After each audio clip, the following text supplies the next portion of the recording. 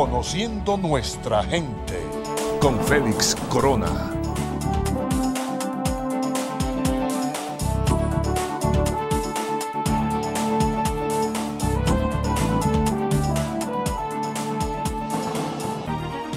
que desde ese tiempo eh, conocí al Señor con, con, alguno- con algunas caídas. La transformación viene del Espíritu Santo. y toda esta adoración de ídolos, esa cruz, todas esas cosas. En ese, en ese tenor, Que cuando ese hombre se descuida, cuando ese hombre descuida la oración, descuida la relación con el Señor, saludos amigos de Conociendo Nuestra Gente. En esta edición tenemos un personaje residente en el municipio de Sosúa por muchos años, que lo conocemos en diferentes tipos de etapas de la vida y queremos que cada uno de ustedes escuchen una entrevista que es fabulosa porque es un personaje muy querido en este municipio de Sosúa y que tiene muchas cosas interesantes que contarle a cada uno de los amigos televidentes, youtubers de este canal Félix Corona Comunica. Desde su casa tenemos aquí, un lugar especial, a John Lindo Pérez. Buenos días, John, saludos. buenos días, Corona, ¿cómo te sientes? Gracias a Dios estamos bien. Gracias por aceptar nuestra invitación. Aquí estamos. Eh, quiero que tú nos cuentes algo de tu vida. Me dijiste que estás llevando una vida cristiana y como yo te conocí en diferentes ámbitos, quiero que tú no- nos cuentes a mí y a los amigos eh, seguidores de este canal cómo fue tu transición del mundo normal al mundo cristiano. Sí, mira, en el año 99, siendo en ese tiempo un tiempo un poco difícil, difícil en el sentido de que en la noticia yo escuchaba acerca de, de nuestro municipio y uno escuchaba que era un municipio sumamente próspero, pero eso yo no tenía conocimiento acerca de esa, de esa prosperidad. Cosas que solamente se logran cuando tú llegas al lugar y tú ves el movimiento, que la gente está trabajando, que, ajá, que humildemente usted puede lograr muchas cosas que realmente usted no tiene y, entendemos que, que prácticamente es algo, es algo tan bello, Sosúa es un pueblo tan hermoso que desde ese tiempo eh, conocí al Señor con, con, algunos, con algunas caídas y el Señor nos ha levantado de muchas. Y gracias al Señor estamos sirviéndole para su gloria y para su honra. ¿Y ¿Cómo, cómo fue eso? Eh, ¿Qué fue lo que te motivó a ti a, a formar parte de las iglesias cristianas? ¿A qué iglesia tú visitas actualmente? Yo soy miembro de la Iglesia de Dios, Maranata, mi pastor Juan de Dios Hinoa. Eh, desde aquí, desde este estudio, le envío mi saludo a mi pastor, mi respeto y mi cariño para él y para todos los líderes de nuestra iglesia.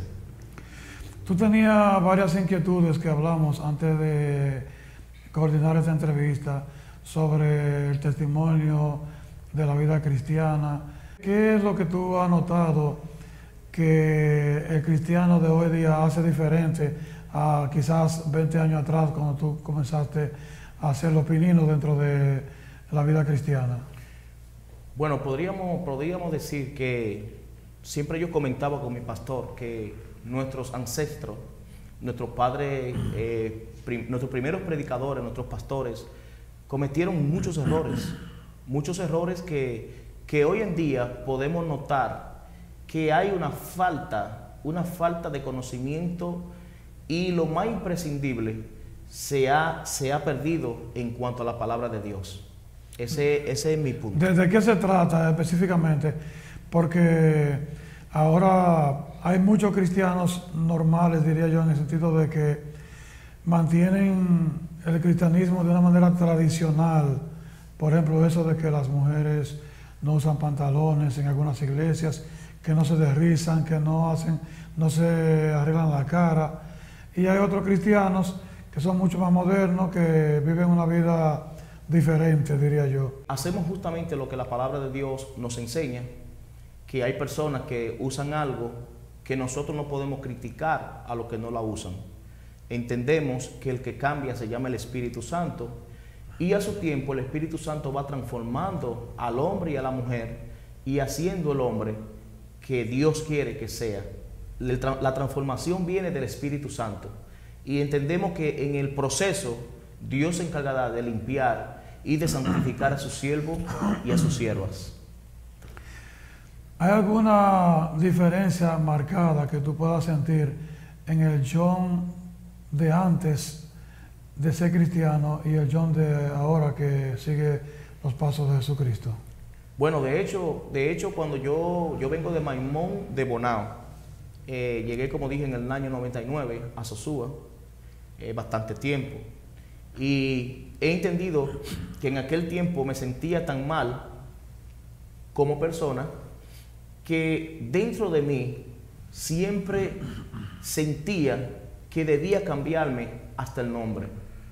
En el sentido de llamarme por mi verdadero nombre. Siempre a uno lo apodan con diferentes nombres en los campos y en diferentes lugares. Pero preferí llamarme por mi real nombre porque a nadie me llamaba por mi real nombre. Porque, porque yo entendía que no estaba limpio dentro de mí. ¿Cuál es tu real nombre? Mi nombre es John Lindo Pérez, pero me apodaban los nombres que siempre le ponen a los campos. O, ajá, por Miguelito, por José, y, diferentes nombres que a uno le ponen. Y nombres que le ponen en los barrios cuando uno, ajá, cuando uno anda en esas cosas, en los barrios, que uno anda en cosas que no son agradables. Y le ponen diferentes apodos a uno. Pero tanta gente que habla cosas muy negativas en el municipio de Sosúa, y sin embargo, tú llegaste a Sosúa en el año de 1999 en un tiempo en que la prostitución y otros males, eh, la droga y de todo, en el municipio de Sosúa para los años del 99, 2000, ese auge de cosas, diríamos, negativas.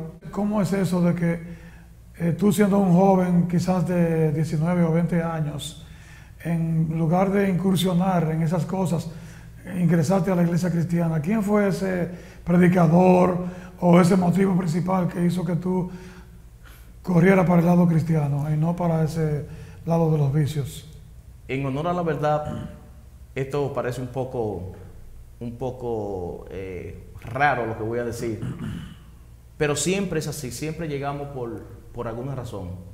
En este caso, había una joven muy hermosa, que de hecho es hermosa, y es esposa de de un siervo de Dios también en ese tiempo.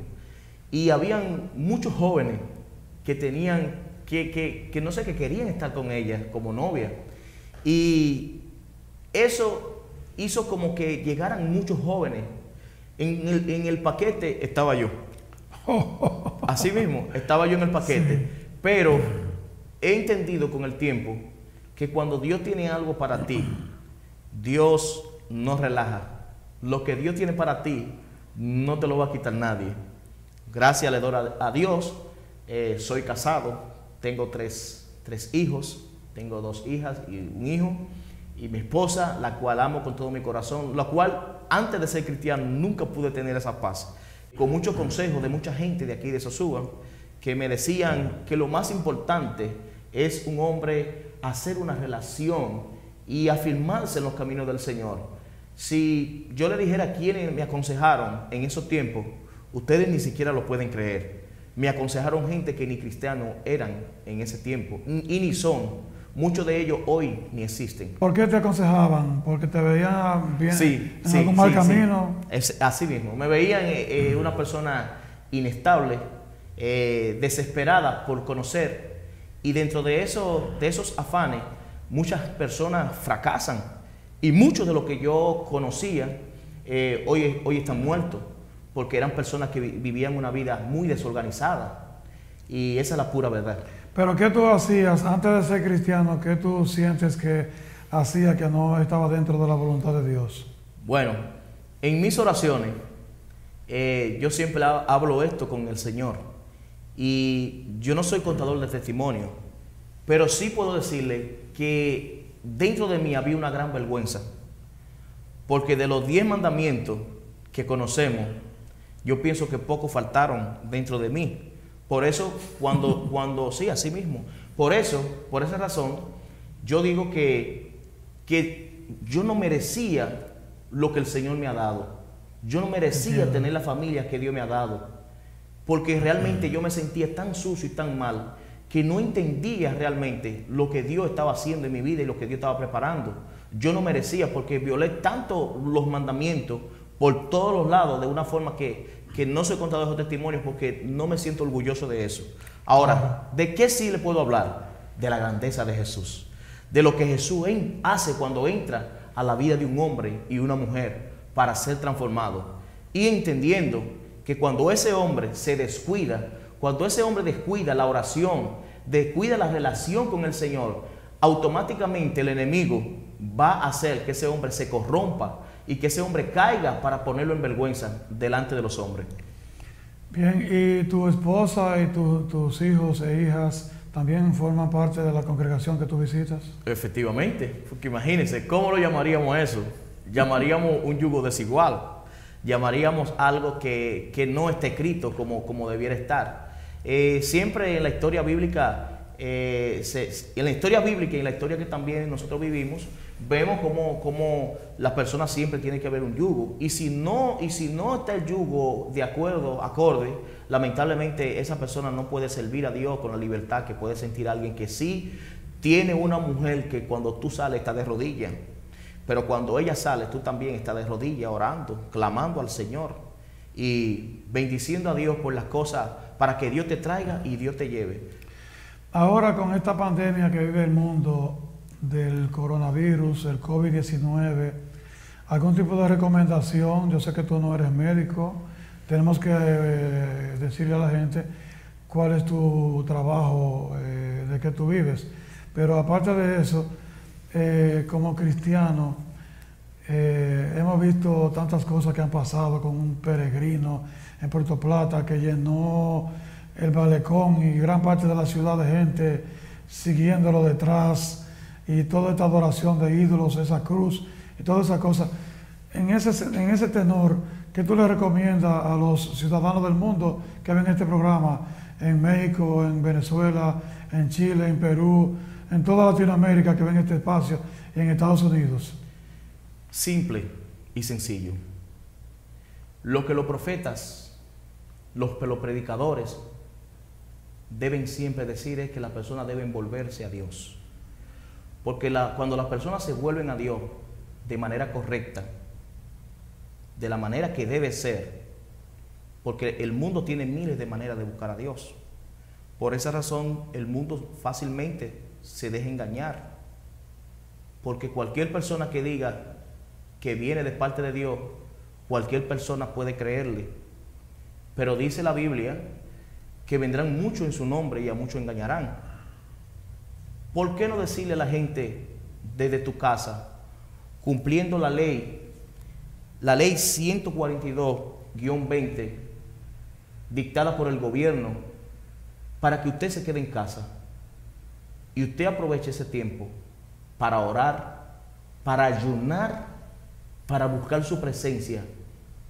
Y cuando la ley se cumpla, cuando se cumpla el plazo, el plazo dado por nuestras autoridades y por nuestro presidente, usted salga en el nombre de Jesús a orar por los enfermos como también debe hacerlo donde usted está en su casa, escondido ahí en comunión con el Señor. Y usted ore al Señor por misericordia, porque una persona puede morir de coronavirus una persona puede morir de cáncer o de sida o de un accidente. Pero ¿qué usted le dirá a Jesús cuando a usted le, le digan que usted no aceptó a Cristo como su Salvador, como Salvador de su vida? ¿Qué usted le dirá? ¿Qué usted le dirá al Señor cuando dice la Biblia que todos estaremos delante del tribunal de Cristo? Y lo que hicieron los buenos saldrán a resurrección de vida, y lo que hicieron los malos a resurrección de condenación, según Mateo 5, 28 y 29. Entonces debemos de acatar, acatar lo que nuestras leyes, lo que nuestros gobernantes, que Dios, de hecho, oro al Señor por, por nuestro presidente, que es a lo que la Biblia te, te llama, a orar por, por tu gobernante a pedirle al Señor por ellos, que ellos exponen su vida para salvar otras vidas, mientras lamentablemente siempre las oposiciones simplemente ven lo negativo, pero no ven lo positivo que también tienen familia. Hay que acatar las leyes, hay que regirse por nuestras autoridades como establece la Biblia y Dios a su tiempo pondrá y quitará quien tenga que quitar, pero tu trabajo es orar por las autoridades para que Dios siga dándole vida y salud para que sigan haciéndolo como lo están haciendo.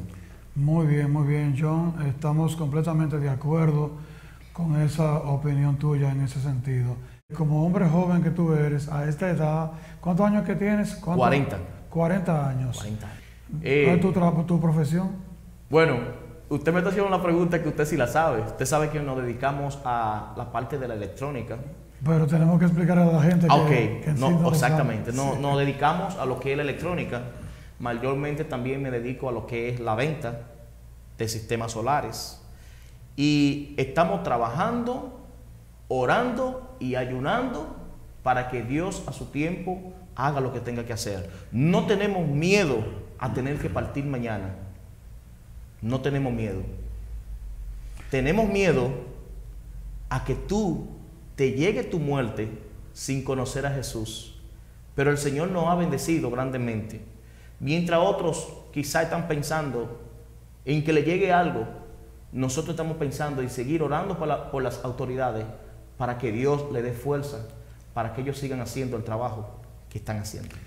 A esta edad de 40 años que tú tienes, que eres una persona completamente joven y fuerte, a esta edad muchos hombres andan en la calle buscando placeres de todo tipo y, la gente como tú que, que ha cambiado de vida para llevar una vida cristiana, algunas veces es, eh, es la burla, el bullying de los demás. ¿Te ha pasado que alguien se haya burlado de ti, alguna mujer, porque tú no has querido estar con ellos, o algún hombre? ¿O qué recomendación tú le das a la gente de tu edad que ha decidido irse por el camino cristiano y que le suceden ese tipo de burlas y cosas así? Bueno, esa es una pregunta muy, muy bonita. Porque es el todo del hombre. La vida del hombre, no solamente por ser joven o ser viejo o ser un muchacho, eh, tiene pruebas y tentaciones.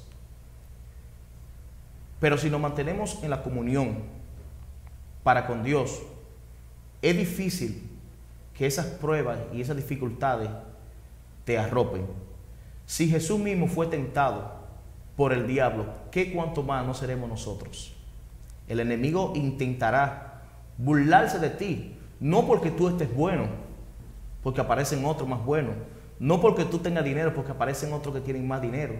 Las burlas son por etapas, porque llega un momento que tus burladores ya no pierden su tiempo, porque saben que tú no eres opción para ellos y van a comenzar a perseguir a aquellos que van subiendo. Alguien, de hecho, me dijo cuando yo me convertí al principio, me dijo, te doy tres meses para que tú estés convertido, porque yo sí sé que tú andas atrás de algo.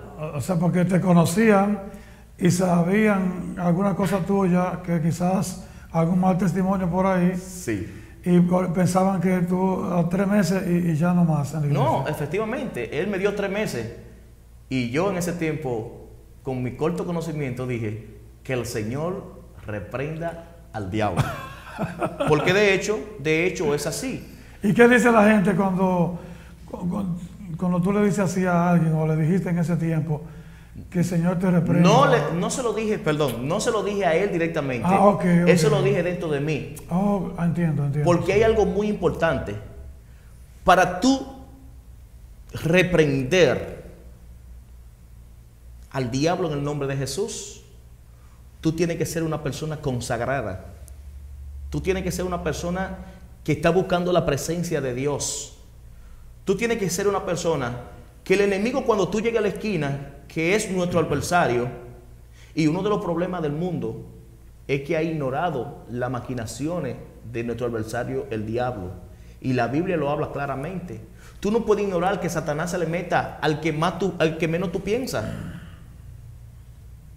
Y Satanás se viste de ángel de luz. Y tú dices, pero ¿cómo es posible que, que alguien se me haga levantado? Sí, se te puede levantar. Pero como tú eres una persona espiritual y tienes el conocimiento, tú entiendes que realmente no son ellos, sino lo que está detrás de ellos. Eso es así. Bien, finalmente, para concluir esta entrevista con John Lindo Pérez, un electrónico que trabaja con mucha responsabilidad su trabajo, resolviendo con la gente, eh, con los inversores, con muchas cosas. Bueno, mejor que lo diga él. Bueno, yo me, eh, desde, mis comienzos, mi padre eh, es, técnico, además de técnico también es locutor, se llama Alberto Pérez y él es, tiene un canal, él es comunicador a la vez. Y oh. él como técnico, no, no, no inculcó a nosotros también a eso, el cual yo veía como, como un castigo. Te contaba ayer, ¿te acuerdas? Sí, sí. Te contaba que veía los trabajos que él me ponía como un castigo. Porque él me decía, sácame todas las piezas que tiene un chasis de un televisor. Es el panel donde están las piezas electrónicas. Y yo veía eso como el castigo más enorme que mi padre me podía poner. Pero él te ponía a sacar esa pieza porque la necesitaba, la necesitaba solamente para que tú aprendas. Mira, en el momento yo no, yo no, sabía decirte si era, qué era lo que, lo que había, porque era algo incómodo. Tú meterle la mano a 3.000 o a 4.000 piezas, incluyendo integrados, resistencia, cuando en esos tiempos no habían ni siquiera soldadores especiales como ahora, que hay soldadores de 100 watts, de 80 watts, y hay chupones. Antes era con un cepillito. Sacar 3.000 piezas y papi me lo ponía como tarea. Y yo veía esto como un castigo. Pero con, el, con el transcurrir de los tiempos, digo, papi, gracias, porque lo que tú hacías era para bien y yo pensaba que era para mal. Ahora que tengo que soldar, cuando, cuando antes soldábamos mucho, porque ahora mismo eh, uno lo que le compra es los equipos a grandes industrias y no hay, pero sí cuando llega una reparación hay que fajarse, pero verdaderamente que me ayudó. Lo que antes pensaba que era un castigo, ahora mismo entiendo que era una gran bendición. Actualmente hay una, una hermosa relación entre mi padre y yo. Eh, mi padre es un hombre que que optaba siempre por tratar de que nosotros estuviéramos reunidos, siempre sus hijos. Y cuando teníamos un momento tan especial con mi padre, eran unos momentos hermosos. Pero ya cuando uno va creciendo, la cosa comienza a complicarse y comienzan las cosas que Dios estaba permitiendo. Yo lo puedo decir que Dios estaba permitiendo cosas en, la vida para que hoy yo pueda decirle a, a muchos jóvenes que quizá piensan que, que sus padres le odian porque por la razón de que sus padres le corrigen con fuerza. No, no piense eso. Tu padre nunca va a querer lo mal para ti. Tu padre siempre va a querer que tú seas un hombre de bien y que la sociedad te acepte como tal, como un hombre de bien. Pero cuando eres un hombre de mal, la sociedad te va a aborrecer. Y por eso hay tantos, tantos problemas en el mundo, porque realmente la gente no entiende, no entiende cómo ni siquiera buscar la solución a los problemas. Sí, de hecho, en los hogares Actualmente tuve tantas tanta cosas que no tienen concordancia. Los padres, son, muchos son fornicarios, mujeres son adúlteras. Entonces, ¿cómo tú le, le, vas a decir a tu hijo, tú tienes que ser un hombre de bien? Tú tienes muy pocas cosas, pero yo quiero decirle que solamente a través de Cristo uno puede comprender estas cosas que le estoy diciendo. Esto es algo muy, muy, eh, muy, muy emotivo, muy emotivo y, insto a las personas a que traten de instruir a sus hijos por los caminos del Señor que es la única forma que usted puede sacar algo de sus hijos, solamente en los caminos del Señor, la cual no lo conocía por mi padre. Repito, en el año 99 vine a Sosúa y por cosa de Dios, así voy a decir, conocí al Señor, pero no porque mi padre me, inculcó esto, nada que ver, pero los planes de Dios son perfectos y están ahí para, para, para los jóvenes y para las personas que quieran aceptarlo. Bien, pues muchísimas gracias John Lindo Pérez por haber estado con nosotros en este su espacio Félix Corona Comunica y conociendo nuestra gente. Finalmente, para que te despidas de nuestra gran audiencia, eh, te vamos a dar un minuto más si quieres hacer algún tipo de recomendación a todos nuestros seguidores.